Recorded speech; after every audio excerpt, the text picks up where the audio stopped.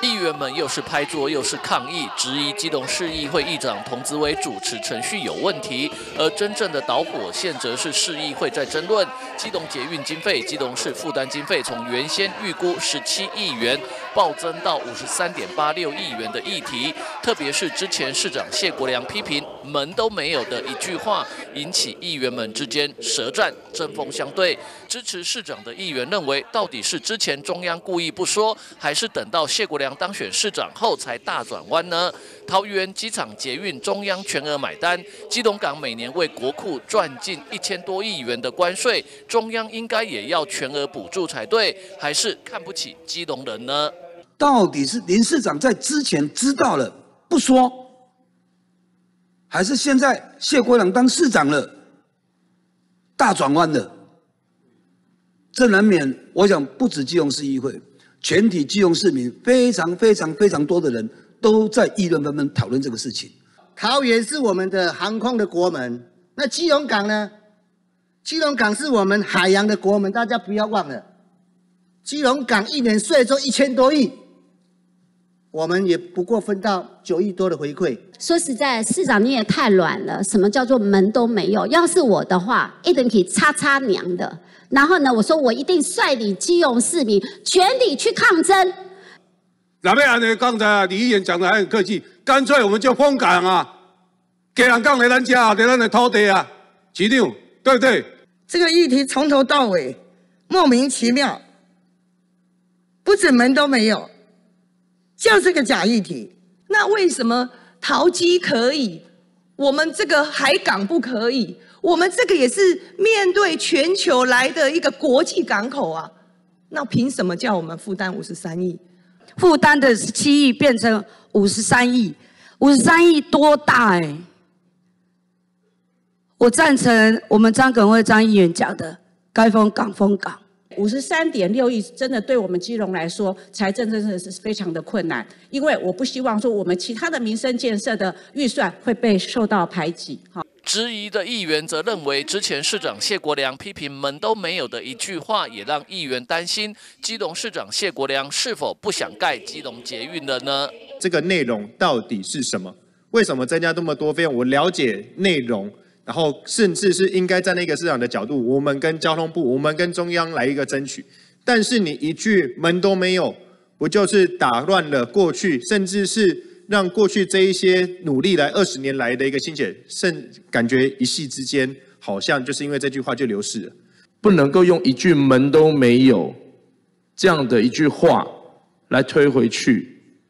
这件事情是有助于城市缝合，但是它并没有到我们完全无法负担的程度。可不可以降低？当然可以。我们应不应该要降低？一定要。我们当然要一起努力去降低。但问题是。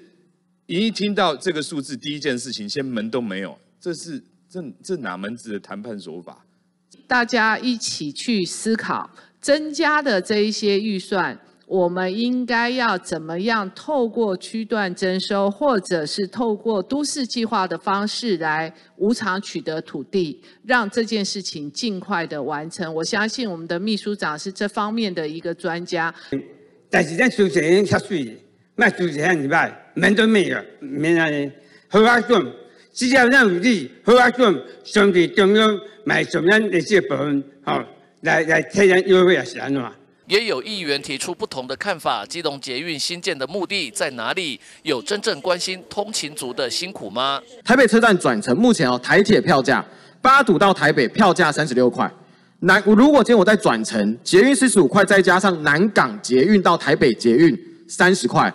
整整是七十块，七十块跟八堵到台北车站、台铁车站三十六块钱，涨了一倍了。问题一，今天这个基隆南港间通勤轨道建设，对于谢国良市长来说，你觉得他的目的是什么？有没有要回应通勤族长久的辛苦？如果这件事情不先开始讨论，未来通勤票价直接涨一倍，这说得过去吗？也有议员认为，不管哪一个党派，市议员都一致支持建基隆捷运。什么心事情是有心就是有力。你看他有有心，没有心哦，他吹公公诶，纸上谈兵，这件事情永远都是做不到的。那个执行力要不要去推动，要不要去做？我觉得这很重要哦，一定要不分政党，真的一定要不分政党，我们真正去为基隆市民来争取我们应有的权益。我们的很多的权益都真的是被剥夺了。我拜托市长，也拜托我们林林部长和那个林部长，好，包括我们中央的各部会的，真的要为基隆市民多想一想。好，全体议员刚才听起来发言，没有人反对，我们整个基隆市议会都是支持这个基隆捷运的一个新建，只是说现在在于我们这个负担额。负担的款项是多少？那这个都是我我觉得都可以谈。我只是说市长你的态度一定要坚定，吼，不要说那句话，因为那句真的太重了，门都没有，我以为你要关门了，我以为你要上场救援，要把这个整个基隆把他们关起来。那你刚才回复是没有，是很好。那我希望说市长来努力，吼，我们一起好把这个基隆捷运，吼，希望他可以在更快的期程之内把它做一个新建。最后一长童子伟也做成决议，市府应以市民最大福祉为考量。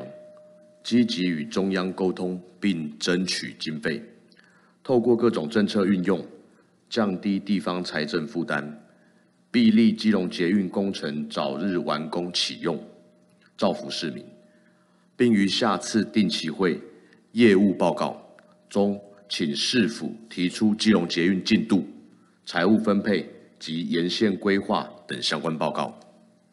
记者吴俊松基隆报道。